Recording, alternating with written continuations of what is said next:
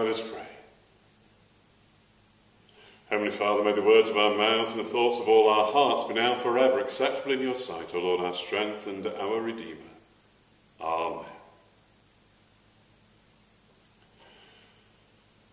Across at the rectory, uh, beneath the table in the lounge, is a little collection of uh, the dog's toys and chews.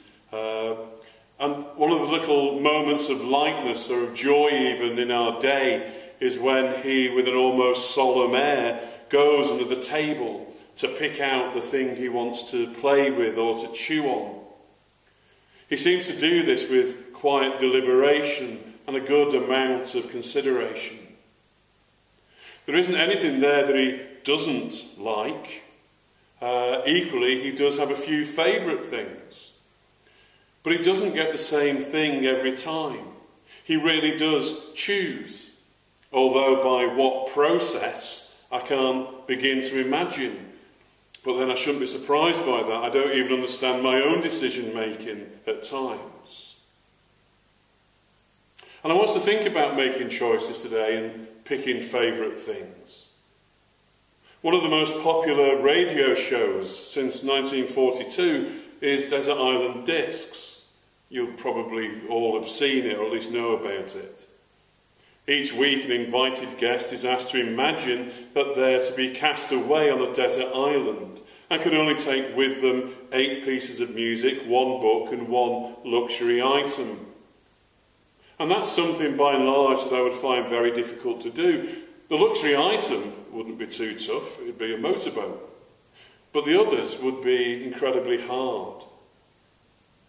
When I think about music, I'm hard pressed to choose what are my favourites because I have so many. There is my favourite tune or tunes today, which will be different from my favourite tunes yesterday and will be different from my favourite tunes tomorrow. I have my favourite happy songs and favourite sad songs, my favourite soulful songs and my favourite rock songs. How can I choose between When a Man Loves a Woman by Percy Sledge or A Town Called Malice by The Jam? That's something that you might find very easy to do, but for me, it'd be very difficult.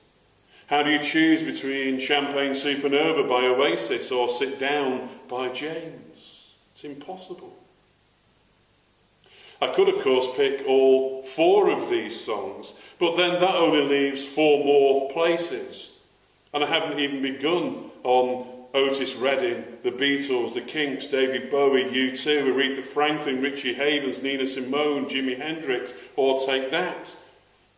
Well, okay, possibly not Take That. Sorry, Gary.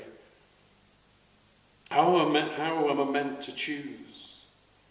Any eight tracks that I pick would leave out eight others that I might, in a slightly different mood, with a slightly different frame of mind, have jumped at. How can I boil down the whole of popular music to just a few meagre choices? And the books are even harder. I've read thousands of books, some of which have made a lasting and even life changing impact on my life. How can I pick out just the one? It'd be like going to a great groaning banquet table and being asked to pick just a few measly crumbs and then declare myself satisfied. Which brings me somewhat neatly onto the subject of harvest. What is the thing that we are choosing to give thanks for today? Now, on an obvious level, we give thanks for the harvest of nature the bringing in of the crops and the promise of food for another year. That's a sentiment that comes through in our harvest hymns, such as the first verse of one of our favourites. Come, ye thankful people, come, raise the song of harvest home. All is safely gathered in ere the winter storms begin. God, our Maker, doth provide for our wants to be supplied. Come to God's own temple, come raise the song of harvest home. But that isn't all that harvest is about. And our other most popular harvest hymn makes the point that it isn't simply about this year's produce. The final verse of We plough the fields and scatter. We thank thee then, O Father, for all things bright and good, the seed time and the harvest, our life, our health, our food. This extends our thanksgiving beyond the simple harvest, beyond this one moment in time, and we thank Him for all things bright and good, for our lives and our health.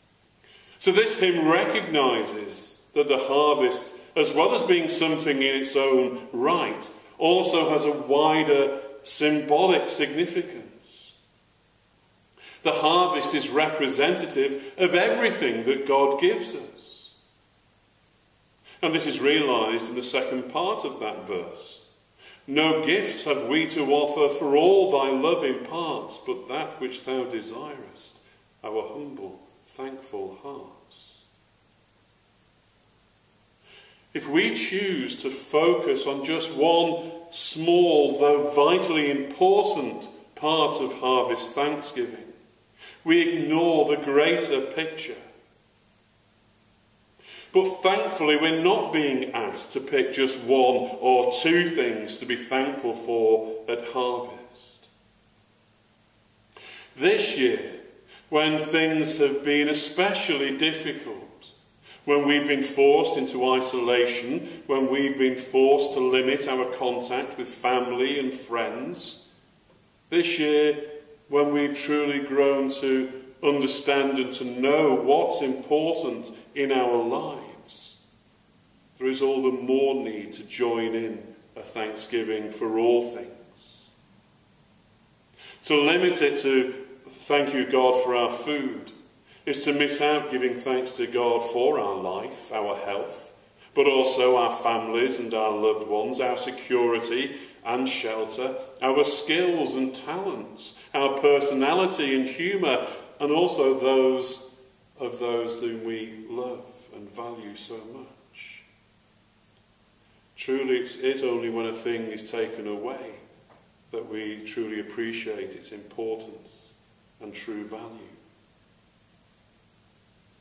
So, as we celebrate harvest today, let us give thanks to God for all the ways in which He has expressed His love for us, even over this past year. We don't need to feed on the crumbs that fall from His table. For God, in His great mercy and love, gives to us generously and abundantly. And all that He requires from us is our humble, thankful heart. Amen.